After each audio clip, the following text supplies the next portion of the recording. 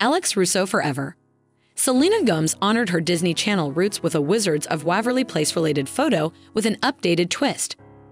Where it all began, the only murders in the building star, 30, wrote via Instagram on Saturday, October 29, alongside an image of herself looking up at the Waverly Place Street sign in New York City.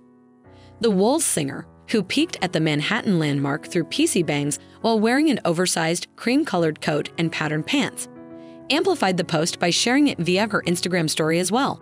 Though Gomez famously kicked off her career on Barney and Friends in 2002, starring alongside then BFF Demi Lovato, she got her big break in 2007 when she cast as the lead in the Disney Channel sitcom about a wizard family living in downtown Manhattan. The Lose You to Love Me singer portrayed the spunky Alex Russo on Wizards of Waverly Place for four seasons before it ended in 2012. The Spring Breakers star, whose career both in music and on screen only skyrocketed from there, is currently preparing for the November 4 release of her upcoming documentary, My Mind and Me, which chronicles her life over a period of six tumultuous years. My whole life since I was a kid, I've been working, Gomez said in the first trailer for the highly anticipated Apple TV Plus film earlier this month. And I don't want to be, like, super famous, but I do know that if I'm here, I have to use that for good.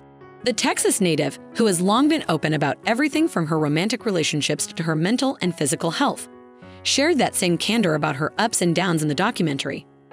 I am happier and I'm in control of my emotions and thoughts more than I have ever been, she said in the teaser. Three days prior to her Wizards of Waverly Place post, Gomez was forced to cancel her Wednesday, October 26, appearance on The Tonight Show starring Jimmy Fallon after testing positive for COVID 19. I'm not going to be on Fallon tonight. I ended up getting COVID, but I'm resting and feeling okay. The Hulu actress wrote via her Instagram story. A friendly reminder COVID is still out there. Get updated on your boosters. I was actually scheduled to get mine this week. Love you all.